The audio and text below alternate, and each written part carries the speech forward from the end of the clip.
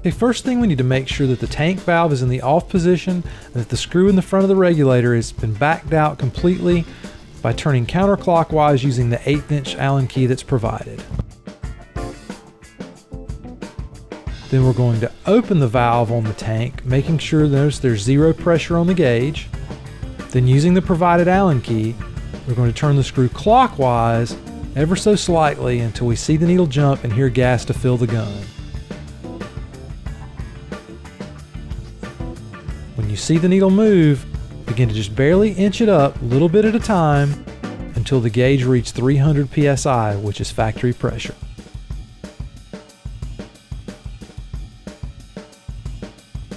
Here's a different view of the same process from the gauge view.